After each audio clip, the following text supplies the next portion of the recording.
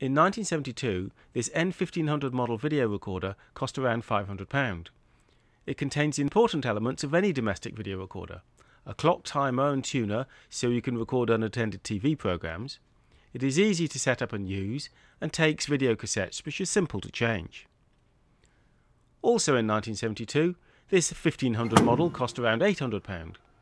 It contains many important elements of a modern family car, including crumple zones, excellent road handling, disc brakes, alternator, and easy to use gearbox. But that a new family car cost around £800 while a video cassette recorder cost around £500 says something about how wealthy you had to be in order to buy a video recorder in 1972. Recently, Techmoan did an interesting video about the V2000 format, but he couldn't do the earlier VCR format from Philips because he couldn't get hold of a machine. Well, I can't compare myself to Techmoan, but I do have VCR format machines. Actually, there are three variants of this format. The original VCR, for which the first machine was the model N1500. The format is often referred to as N1500 and would record up to an hour or so. The next was a long play version, VCR LP.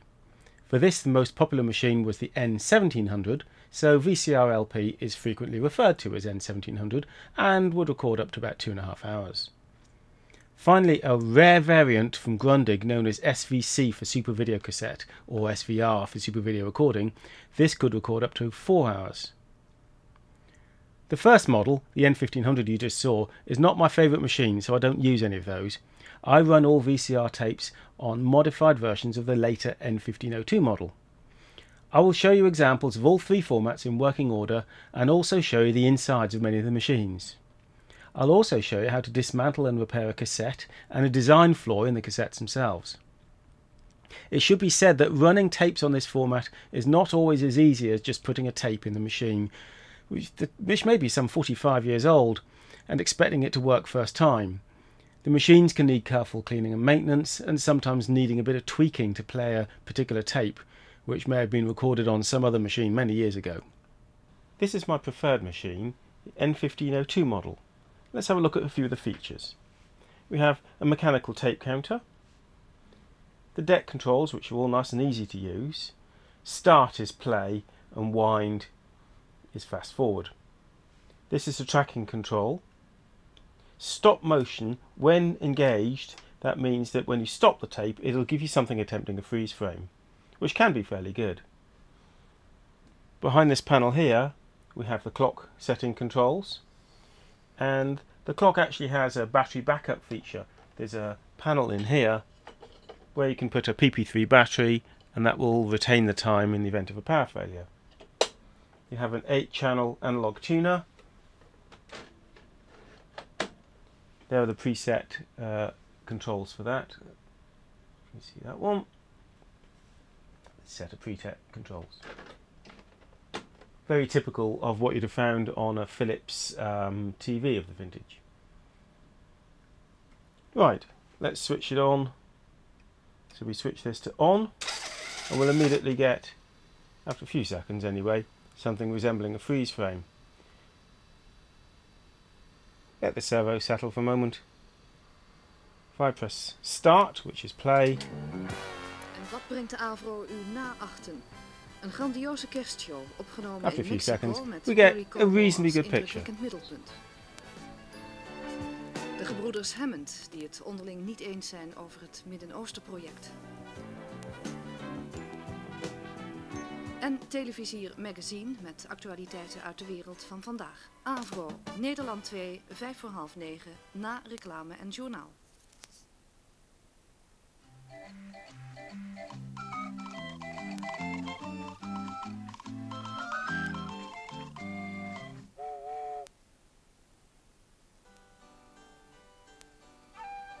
Coffee drink. Switch it off and let's take a look inside this machine. Well, I've already undone the screws at the back here. I can remove the top.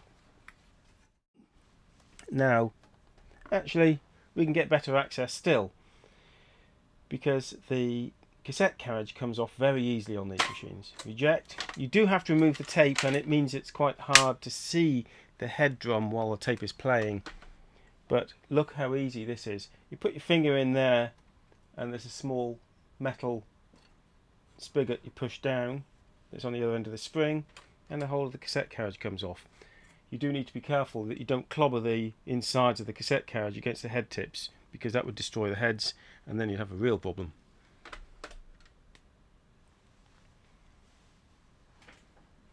So looking briefly here we have a very large head drum with two head tips. We have the supply and take up spools which are mounted one above the other. Capstan, pinch roller, audio control head. Now one thing that rather sets this format back is that back tension is not very well controlled. That's to say, the amount of pressure that it applies on the supply spool during playback. On most video recorders, there's some kind of tension arm or occasionally a dual motor system. But on this machine, the back, back tension is provided by uh, some bushes that sit in here. There's a bush that applies pressure and there's some felt pads that alter how stiff this is as it rotates. And the trouble with that is that as the tape progresses through, the uh, speed of this alters depending how full the spools are. And that effectively changes the back tension from the beginning of the end to the tape. There's no regulation in there. So that's not ideal and it, it can create issues with either insufficient back tension, which causes the picture to uh, bounce around and break up, or excessive back tension, which, as well as causing head wear, can cause the tape to just stall or squeal and, and stop and, and not play well.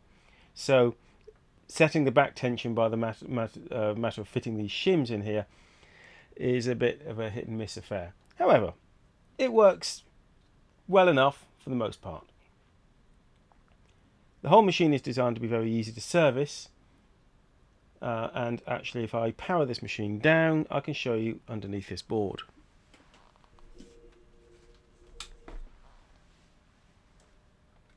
Let's pop that open.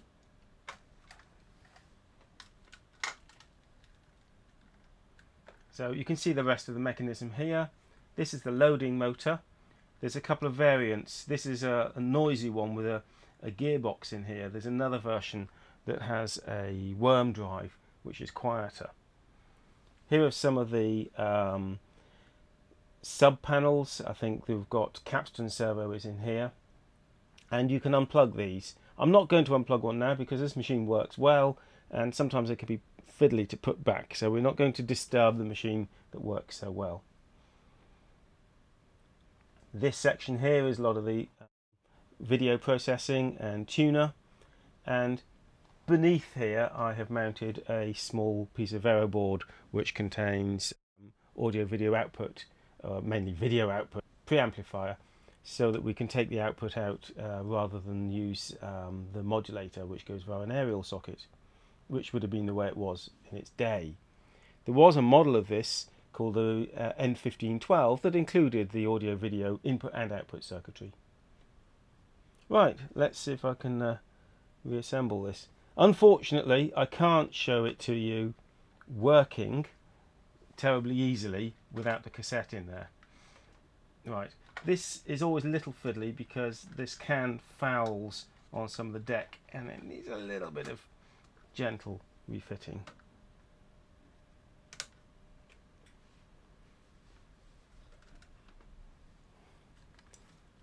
There's a part here which is uh, kind of a graphite block which provides the earthing for the top of the head drum. So this needs to be in good serviceable condition.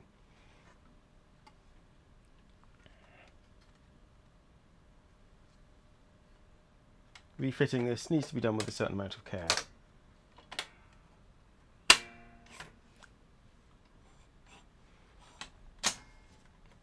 I will run it with this lid off, but you don't see an awful lot because everything's covered up by this. But I'll do that just so you can see something. The cassettes, the front lid has a habit of popping up. Just push it down before you insert it, and then it pops up about there.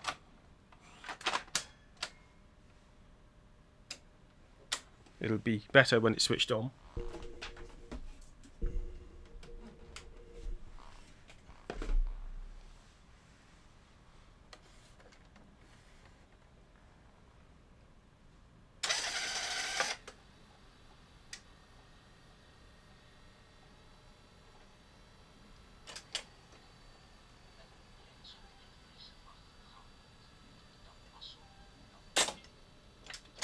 I'll just rewind it. I think I've hit a bad moment of tape there, so let's rewind it. So this pinch roller gets pushed in towards the capstan there.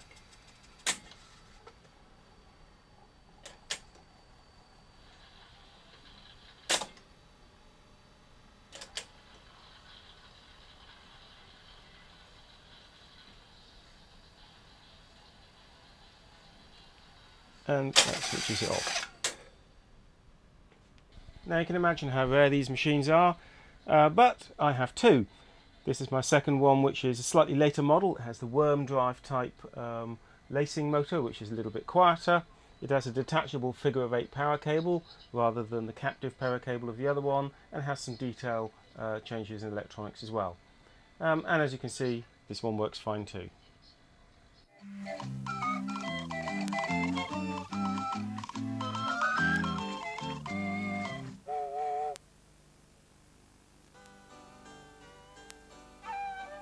Koffie drinken is pas echt koffie genieten. Met een klein scheutje Friese vlag goudband. Dat was zo, dat blijft zo. En als u nou morgen toch Friese vlag goudband koopt, let dan op het etiket. Er staat een gouden voordeel op.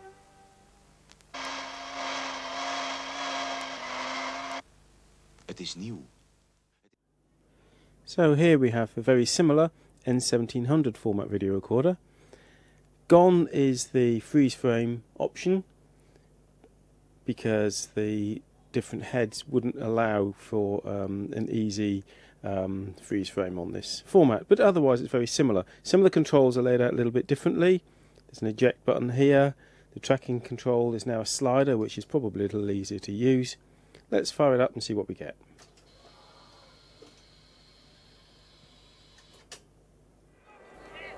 Oh, And so there we have N1700 format video recorder working very well. Tragedy for Australia. Absolute tragedy with a misfield there. The old rule of never run on a misfield still holds good.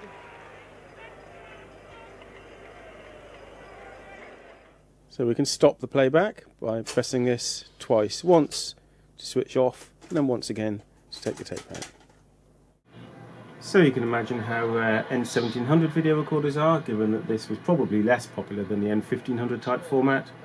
But uh, I have a second one of these machines too, and you can see it playing quite nicely here. Clive Lloyd with a score on. And here we have the final iteration of the VCR format. I never know if this is called SVC for Super Video Cassette or SVR for Super Video Recording. It came out only from Grundig, Philips didn't support this format. It does allow for much longer recording times, up to four hours on one of these tapes. Now it has some interesting features. It has a proper Seek tuner as you'd expect on later equipment, rather than the uh, twiddly controls that you had on the earlier 15 and 1700 models. And it has soft touch controls which would allow for remote control operation, and some variants of this I believe did have that option. It has microprocessor controlled deck as you'd expect on a more modern video recorder. So it treated the tapes more gently than the earlier models. Let's uh, switch this thing on and uh, see how it goes. Now, some of the buttons are rather strangely labelled. Rewind, fast forward, playback all do what you'd expect, but stop really should read pause, and cassette should read stop. But being Grundig, you expect it to be a bit strange. Right, go for play. Quite a nice smooth operation, and a few seconds later, we get fairly good results. Georg Danzer kommt. Dankeschön, Georg, fürs Kommen. Sehr gut. Sehr. So, so aussehen. If we hit stop, we have something resembling pause. Let's try rewind. It sort of leaves some kind of image on the screen during rewind and fast forward.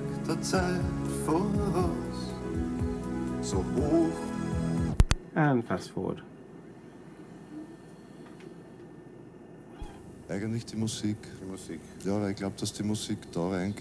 It all works rather well.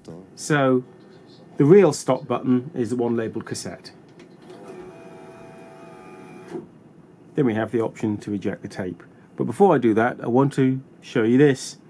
That's the original price sticker for this machine. It says £299.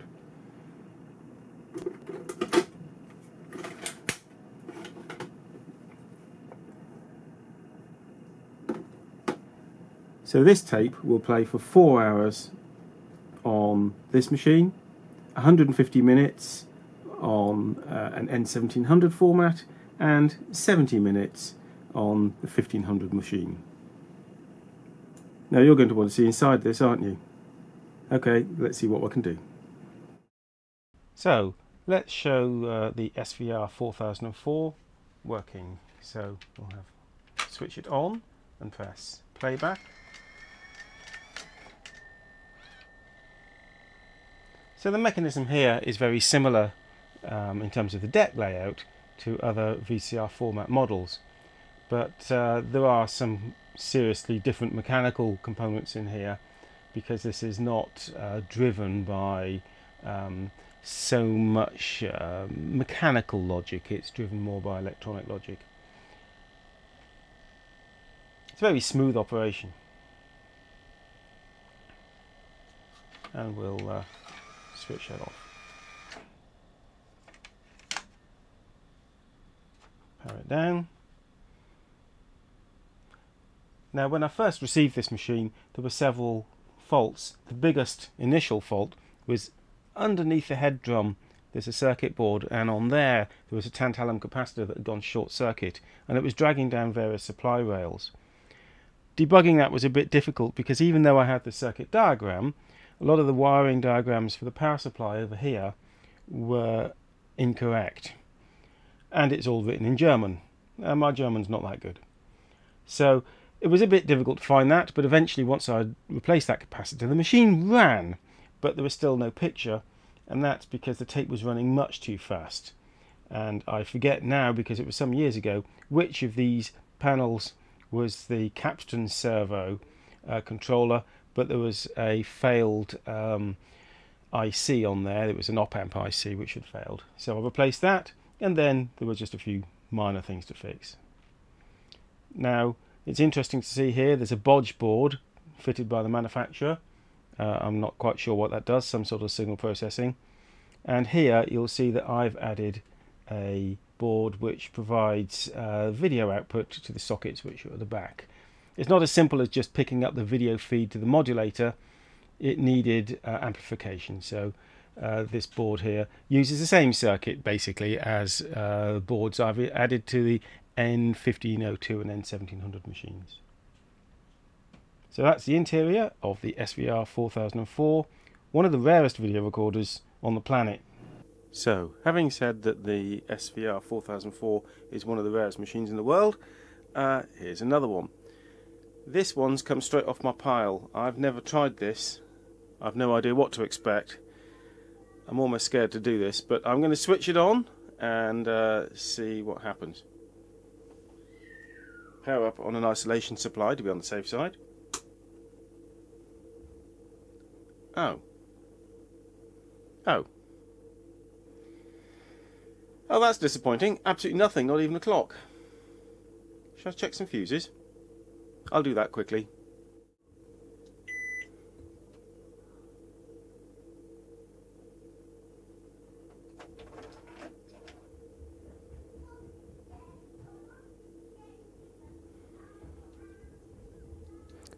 Funny looking fuse. It's all corroded. Well, I've never seen that before. Anyway, shouldn't be a 13 amp fuse in a video recorder. Let's bin that and replace it with something else. Nice new 3 amp fuse. While I'm here, I'll check to see if we can read any resistance at all um, in the uh, input to the video recorder power supply. We should see a high value resistance.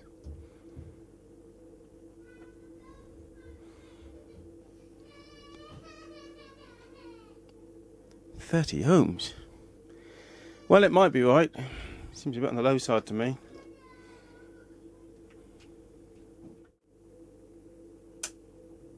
Still nothing. Should we check the fuse again or check that we've got that input resistance there? life will be so much easier when I get a bigger workshop. Right, let's see what we see across here.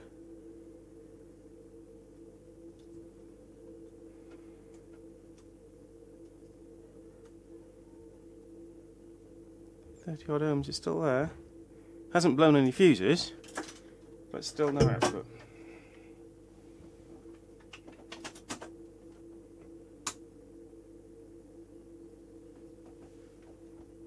Oh have some life. So the clock isn't working. But we have something on this display. It's gibberish, but I'll take that. It's doing more than it was a moment ago.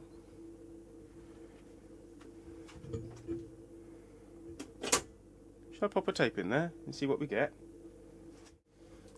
Okay, I have a tape.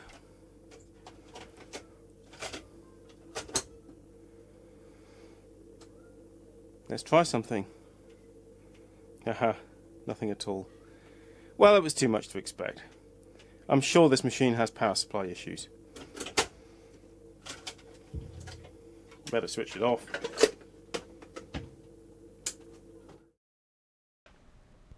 So, while we're looking at a few of the video recorders that are on my to be repaired list, we have this interesting machine. It's the model N1520. Mechanically, it's very similar to the N1500 though there are some differences. Um, it lacks the tuner and timer and gains editing facilities. So this has got four heads so it can do insert editing and stereo sound. In 1973, that was uh, quite something. I've not looked at this machine at all. Um, i am sure the belts have turned to a horrible goo, which they tend to do on these machines. It will have servo faults. It will have a problem with the lacing mechanism because these things always fail on, on this type of deck. So that's another project for one day, um, but still an extremely rare machine.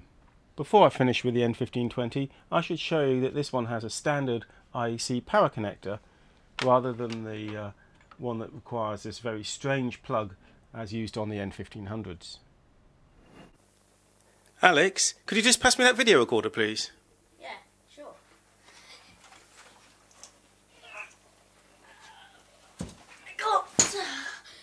Too heavy. Here's the inside of the N1500 that uh, I showed you earlier. I've never taken this one apart before. It's pretty filthy.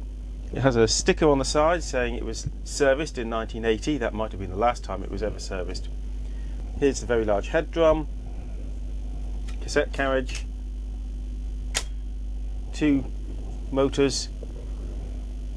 Of course we have the clock, the deck controls, the tuner, presets for the tuner there. And I'll turn it upside down in a moment and we can have a look underneath. There's a lacing mechanism here which includes a wire that can be troublesome. It's a first generation machine so these motors here are driven by mains frequency and then there's a clutch system with some magnetic braking underneath. The servos are quite an unusual design, at least they're unusual to me, they seem to have ramps with needle pulses in them and such in the service manual. Quite difficult to debug. I did try to fix one.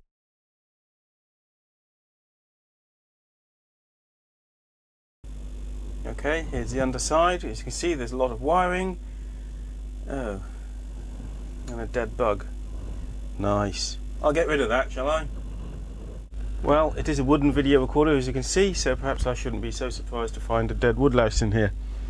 Now, I've slackened off a couple of screws so we can open the PCB here and fight our way through all this wiring.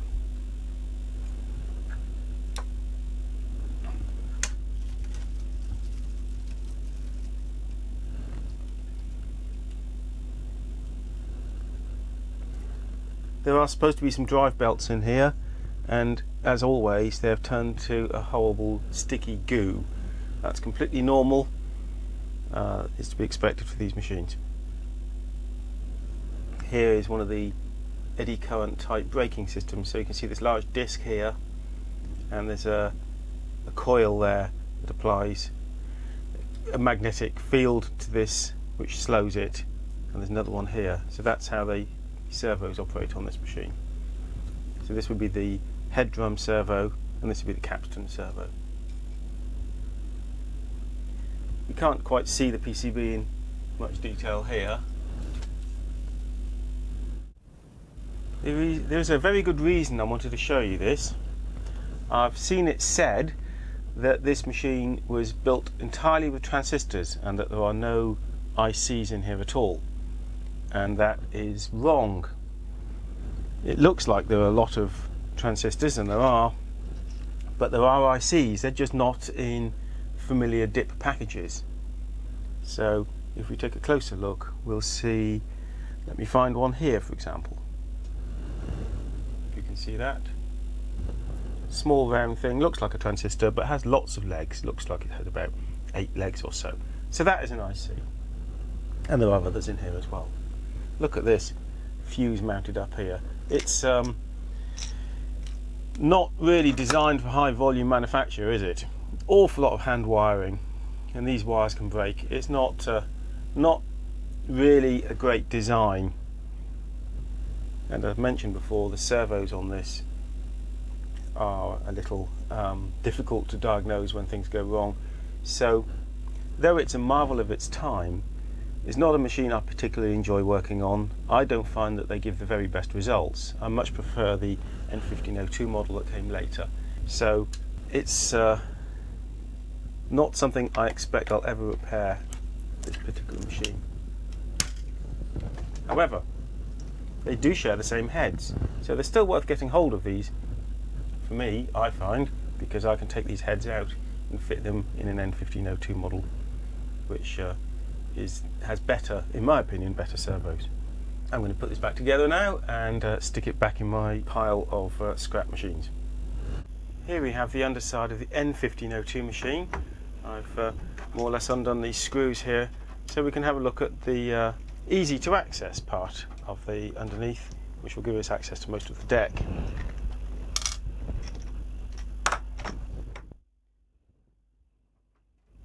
Now, I'm used to seeing clips here. They've either been snapped off or weren't fitted. I suspect not fitted on this particular model, they just relied on the screws. And then you have access to the underside here of the power supply. And on the 1702, I do remember having changed an IC on this power supply once before, which failed and took out some of the supplies. It's a rather nice design here. You push against some springs and then you can open the power supply out the way and gain access to the deck. So here we have the capstan and its capstan motor and the bottom of the head drum which is connected by Allen screws to this pulley and I see here that the belt has dropped off so this belt needs replacing. That belt is actually quite hard to change. It's a little bit fiddly getting your fingers in there and hooking the belt around the pulley on the motor and this um, pulley here. A little bit fiddly, but uh, if you fit a good belt, it shouldn't keep falling off, so that'll be fine. So it's uh, a much more lightweight design than the N1500. It runs on these DC servo motors. Occasionally I've known these squeal, um, so occasionally they might need replacing. But uh, all in all, quite a nice design. I quite like that.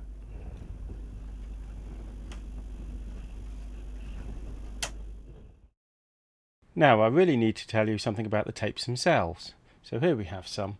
This is LVC 120 means it was primarily designed for use with the VCR LP um, or N1700 format machines. Uh, but it could still be used on a uh, N1500. It'd run for roughly half the time. The tape starts on a spool on the bottom and winds its way to the top which is unusual. So you only see the take-up spool. And on the side here, there's a sliding door. The capstan goes through here. The pinch roller presses against this. So that pushes the tape, pulls the tape this way up onto the take-up spool. Now, this cassette here is the super video cassette a longer playing machine, even longer player. And they look very similar. This one's had the door removed. Actually, this is quite a common problem, that people would have to repair the tape and then get into kerfuffle trying to put the door back. So the spring is there, but the door itself is missing. That won't stop it from working, but it's clearly not very tidy. People sometimes also get this tape on the wrong side of this guide. If they have it on the inside of the guide, then the machine doesn't really run, run very well. So it's important to assemble it correctly. And I'll show you how to assemble one of these in a moment. Now, the other thing is, this tape is specifically designed so that it can be used in the Grundig SVR 4004 and similar. This tape can't. So what's the difference? How can the machine detect the difference between these two tapes? Well, it's quite subtle. This machine, which is loaded with the chrome dioxide tape, which can make the longer play recordings, has a small extra component here. There's an extra plastic actuator there, which is missing from the earlier format of tapes. Without that, the tape isn't suitable for use with the um, SVR format machines. Another tape I'd like to show you here is head cleaner tape. So if your head's fouled, you could put in a head cleaner tape which contains the white sort of abrasive material, not that dissimilar from what you'd have seen in a VHS or beta head cleaner tape. I actually prefer to clean the heads by hand, but using head cleaner sticks and alcohol, this sort of head cleaner stick, but these aren't particularly easy to get hold of anymore. But these um, are a great way to clean the heads to a high standard with suitable care. Now, let's take a look inside this cassette. I'll show you how it works, how to dismantle it and reassemble it, and also show you a design fault on this uh, and what tends to happen when things go horribly wrong. Some of the tapes have flat blade screws, some of them, like these, have um, Pozidriv or Phillips type screws. So we're going to be using a flat blade screwdriver. There's four screws to take out. Now I would recommend, if you're doing this, that you either remove the label altogether or slice it in half, as I've done actually with this one. Because if you leave the label on and try to angle the tape up in such a way that you don't disturb the label, uh, it can make it harder to reassemble and you can actually make a mistake reassembling it. So I would recommend taking the label off or splitting it as I've done here. Right, so we'll take the screws out. Now, this slidey door thing can be troublesome. We'll take the top off. Why have we stopped? Maybe I didn't undo one of the screws properly. Yes, one of the screws is still stuck. Beginner's mistake. Right.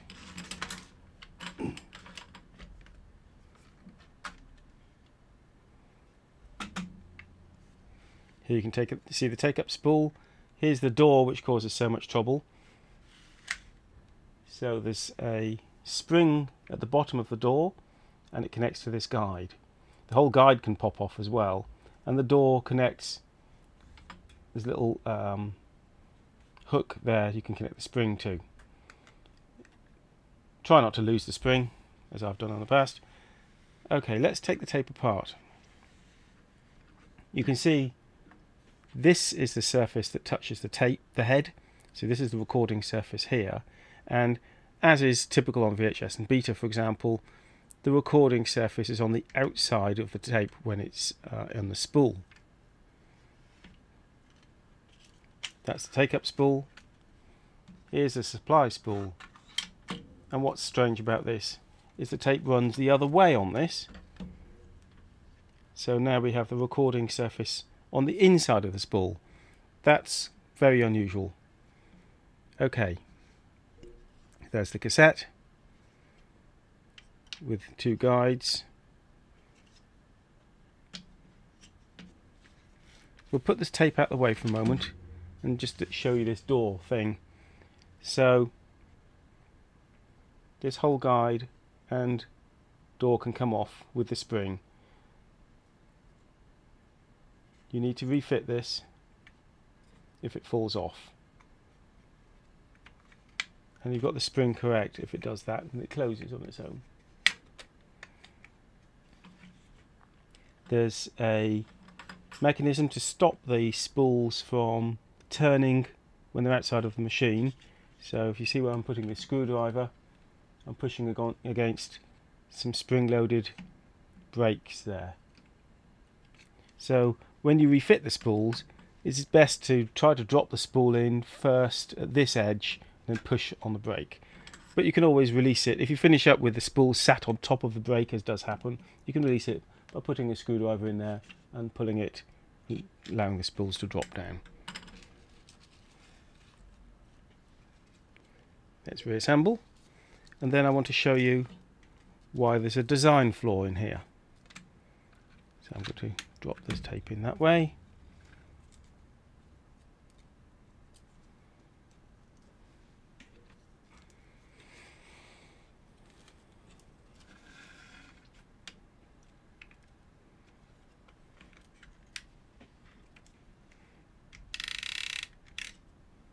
and this needs to go over the top of that guide. Now then, what's a design flaw? Well, it's a little bit hazardous having the tape feeding into the supply spool here, right above the, sorry, feeding into the take-up spool right above the supply spool. What can happen if the machine, for some reason, doesn't manage to take up the tape as fast as the pinch roller is providing it, this gets stuck for some reason, or in the reverse situation, if we're in rewind and this tape doesn't uh, get taken up quickly enough, what could happen is that the tape from the top here can droop down into this gap when it's inside the machine.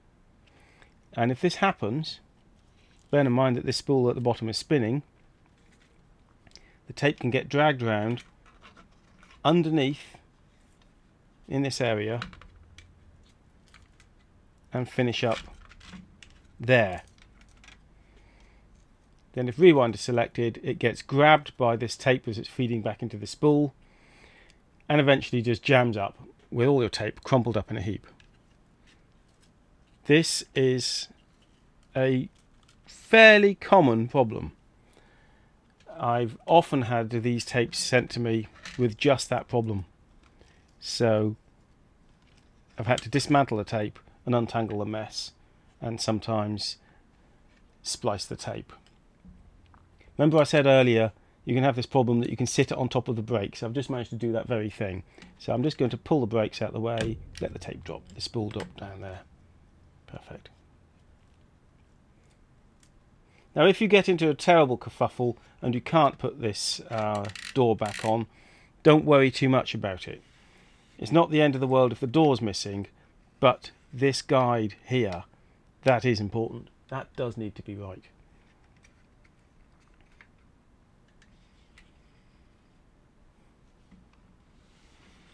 Let's reassemble it. Now this is why it's good to cut this label or remove this label because if you're trying to do it like this and reassemble it sort of hinged from the tape at the bottom you're going to get into a mess. You want to be able to drop this straight down like that and lining up this sliding door. Perfect, everything's gone in nicely, the spools are floating, that's perfect. We can now do up the screws.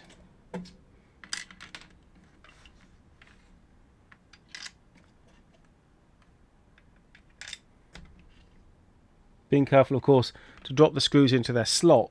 Don't drop one down into the brake hole there. That would uh, make a bit of a mess of things. you'd have to take it apart again and fish a screw out.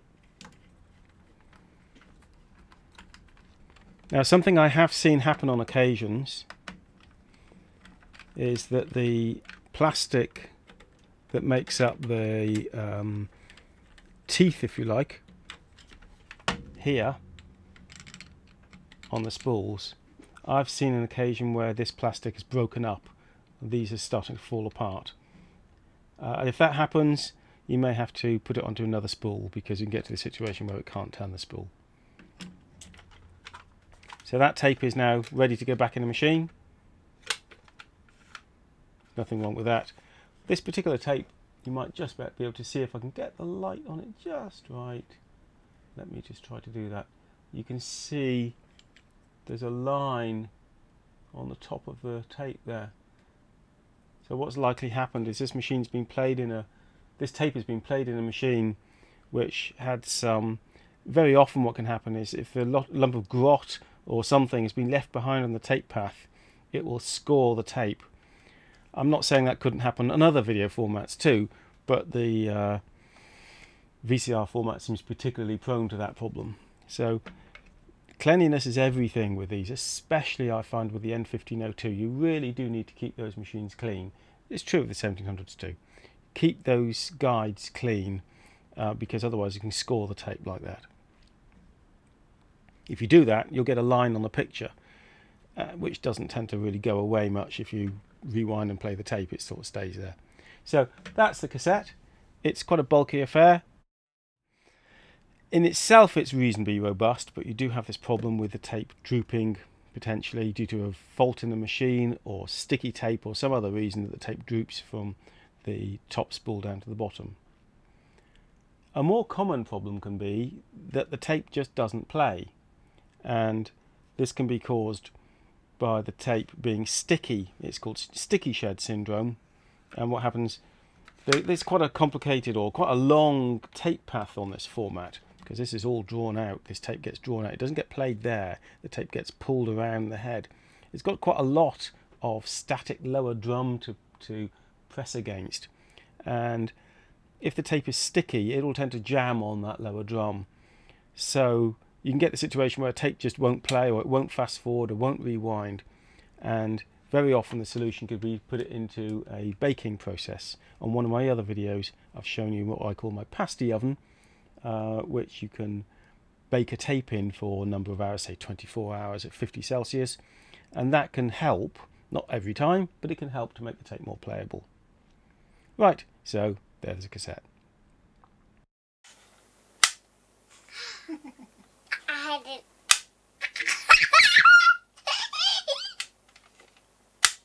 Enough. Enough. That brings us almost to an end of my explanation of the Philips VCR format. It should be noted that a VCR machine cannot play VCR LP or SVC tapes, nor will the later machines play the earlier recordings. There may have been one rare model from Grundig which could play both VCR and VCR LP tapes, but this was not widely available. The SVC or SVR format from Grundig was pretty much dead from the start, so only the one machine was made. Anyone that says that beta was a failure should look at the disaster which was SVC. As far as Philips were concerned, the VCR format was replaced by V2000. As far as the rest of the world were concerned, it was replaced by VHS and Beta. Machines were still to be seen around until the mid 1980s when most people had moved on to the more modern formats. I hope you enjoyed this and have learned a few things about the first domestic video cassette recording format. Please do remember to like, share and especially subscribe and then I can carry on making more videos about audio and video technology. Bye for now.